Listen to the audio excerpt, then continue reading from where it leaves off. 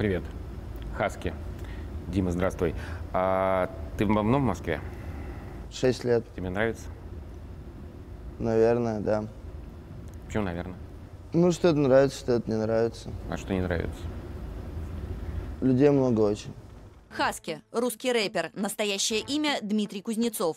Родился в Улан-Удэ. В 16 лет переехал в Москву и поступил на факультет журналистики МГУ. В Москве живет с 2010 года. С первого курса начал работать журналистом, в том числе на федеральных каналах НТВ и ВГТРК. В 2011 ходил на оппозиционные митинги в Москве. После начала боевых действий в Донбассе в 2014 ездил в качестве журналиста в Донецк. Живя в общежитии журфака ДАС, начал сочинять свой первый альбом «Собачья жизнь». Выпустил его в 2013 EP «Автопортреты» вышел в 2015 Новый альбом «Любимые песни воображаемых людей» в 2017 году. Как ты пишешь стихи? Э, То есть, ты понимаешь, э, их стали публиковать отдельно, твои с- стихи, расшифровывают твой рэп, Ну, публикуют как текст и разбирают серьезные критики и говорят, вот, ну, вот это поэзия, вот это поэзия, это очень здорово. И он вообще без музыки живут. Я первый текст твой прочитал, а не услышал. м, ну, я так не планировал делать. Кто-то придумал. А тебе это Я нравится? за это ответственность не несу, короче. Нет, хорошо. Ты хочешь, чтобы это была книга?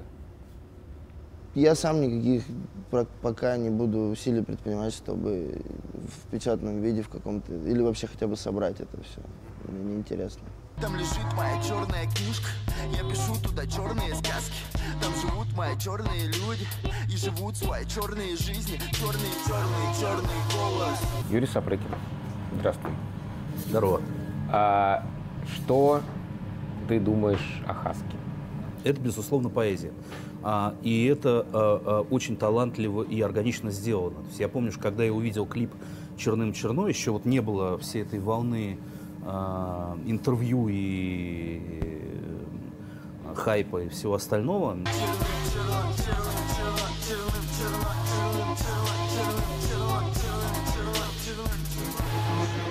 Я, я, я остолбенел совершенно, насколько, ну, ну, как бы, там, тексты, поведение, подача, интонация, насколько это все сливается в какую-то органичную, а, а, а, органичную историю, и раньше такого не было. Юрий Сапрыкин, журналист, публицист, музыкальный критик. Родился в Тульской области в 1973 году. В Москву переехал 27 лет назад. Работал на авторадио, а с 1999 года на нашем радио под псевдонимом Юрий Близорукий. С 2003 по 2008 главный редактор журнала «Афиша». В 2011 главный редактор издания «Слон». Теперь оно называется «Репаблик». В конце 2011 начале 2012 года был членом оргкомитета митингов за честные выборы на Болотной площади. В том же 2011 вернулся в объединенную компанию «Афиша Рамблер», где проработал шеф-редактором до 2014 года. Даже в хип-хопе в русском были люди, которые, ну, там, изображали из себя гопников или, а, или э, писали тексты на какие-то околокриминальные темы, а, а, а, делали это как пародию или делали это как такой искренний нео-шансон, да. Вот. А Хаски первый, который, э, первый человек, который из, э, ну, вот этой такой а, а, внутренной, низовой, а, местами криминальной, а, местами жутко романтической жизни России, он делает прям поэзию, да? Ну, это большое понятие, судя по всему. Мгм. По крайней мере, это точно поэзия. Да, да. Сейчас, когда меня не станет в мыслях ласковых твоих, я вздрогну в разбитом теле, ополаскивая рыхлое нутро какой-то дрянью. Тебе не кажется, что это тоже шансон немного, то, что ты делаешь? Нет, это абсолютно, точно не шансон. Но хотя, шансон, хотя, хотя ты понимаешь, русский... да, что ритм другой, текст другой, а сюжет похож. Нет, это не, неправда. Просто шансон, как бы, он разный бывает. Но мне кажется, что он работает с подсознанием людей. Потому что там такие очень архетипичные вещи все время поднимаются. Там мать, там икона, там это все, это все дела. Прости меня, мама. И... Ну да, да, да. И это, ну, по большому счету, всем понятно, широким слоям. Вот. Ну, я тоже работаю с подсознанием, на мой взгляд. Может быть, только в этом. И тоже использую какие-то архетипы, которые, в принципе, понятны русским людям. Ну, на мой взгляд, понятны. Но при этом у меня нет никакой цели, ну, сознательно идти на сближение с кучей народу, да, с вот этой аудиторией шансона. Ты понимаешь, откуда люди, которые, молодые люди, которые э, добиваются огромных там тысячи миллионов просмотров в интернете, откуда они берут эстетику поведения в кадре, откуда они взялись? они, а, как пела группа Каста, мы берем это на улице. А, а, если ты родился и прожил 17 лет в городе Улан-Удэ, а, а, тебе не надо это как-то специально изучать. Это интонация, которая в тебе сидит, более того, она сидит во всех нас, вот, и мы четко понимаем, что а, а, когда к тебе вот обращаются а, а, вот так вот, да, то, а, а, ну, как бы следующим действием будет, наверное, а, куда-нибудь ударов как минимум в скулу, да, и когда с этой интонацией а, а, тебе зачитывают а, а, очень а, местами мастерски сделанные, очень, очень болезненные, очень талантливые стихи, да, Это разрыв шаблона возникает Да, именно в том, разрыв- что ты от человека с там, условно, с кастетом не ожидаешь интеллектуального действия. это даже можно этого не видеть, да, вот мне кажется, что ну там то, что хаски ходят в спортивке и бритвы Это ведь на самом деле абсолютно это, неважно. Ну, дело десятое, да, а, а, как бы здесь работает именно сочетание вот этой интонации и, а, и, и текста.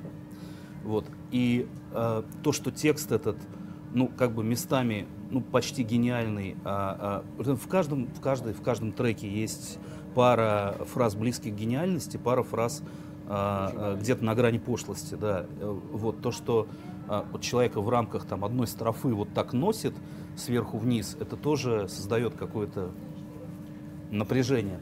Прятки с отцом, горячо, холодно Жрать все с маминых поварешек Солнце тает в окне, как харчевый золото Папа, папа был понарошку, панелька Почему в панельке твой лирический герой непременно без отца? Мы много с друзьями на тему разговаривали.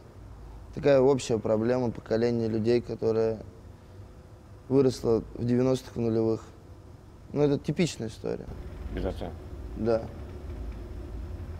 А эти люди обречены искать отца всю жизнь? Не знаю, это психотерапевты должны на эти вопросы отвечать. Но мне кажется, что в какой-то степени да. Набито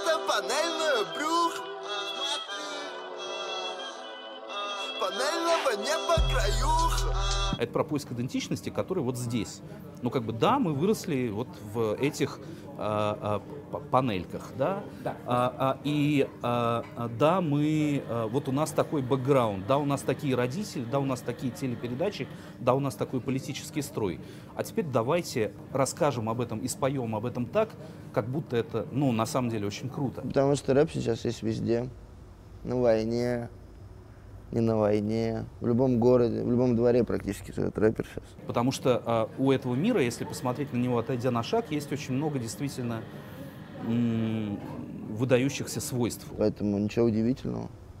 Просто это такой какой-то, ну, простой язык. В этой музыке и в этой эстетике очень много апелляций к 90-м. Времени, когда а, а, их родители были примерно в том же возрасте. Аудитория там 70-х, 60-х там, годов рождения, ну, людей слушает радио шансон условно, покупает билеты на Ваенгу, то молодежь в таких же объемах слушает ну, хип-хоп. Он же очень разный, очень много его. Еду по России, не доеду до конца Еду по России, не доеду до конца Еду по России, не доеду до конца Но это интеллектуальный вид. Чуть не сказал искусство. Ну, не спорт, Ну, конечно, это р- искусство, насчет безусловно. хип- не, хип-хоп это не интеллектуальный вид вообще. Это ну, изначально танцевальная музыка. У нас в России ее, ну, она тоже имеет свой извод, как, как я уже сказал.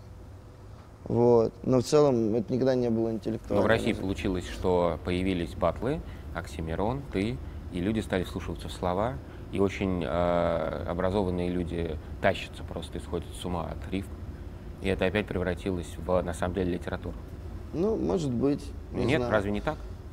Это Ну, какая-то это- м- магия языка, я не знаю вообще, кто это, почему Есть, есть определенная тенденция. Ну, в России все, что любая музыка, которая не делается, она так или иначе в итоге появляются какие-то люди, которые именно, ну, текстоцентричные, которые именно об этом, о тексте, о, о поэзии. А это значит просто много непроговоренного, что необходимо в тексте, потому что можно, на самом деле, было про вечеринки, все были бы счастливы. Наверное, Ну, про вечеринки что же должен кто-то петь, на самом деле. Ну, Нет, есть- это-то да. Но если все время появляются люди, которые проговаривают текстами какие-то проблемы, а у тебя тексты прям проблемные, то значит, а, это необходимо. Ну, я не знаю, наверное. Мне хочется верить, что... Я просто да. спрашиваю тебя, почему об этом? А, Это проблемные тексты, потому что так круто продаваться? Или это, ну, ты говоришь, что это проблемный текст, потому что ты не можешь по-другому? Ну, потому что мне неинтересно просто писать другие, вот и все. Я пишу такие. черных тачках, похожих на больших черепах Перекрикивать мысли в чужих черепах Тут можно, знаешь, прямо арифметически провести параллели, вот как в 80-е, не знаю, группа Браво, там, Бригада С, Мистер Твистер, а, а, реанимировали эстетику оттепели и стиляк, которые были за 25 лет до них.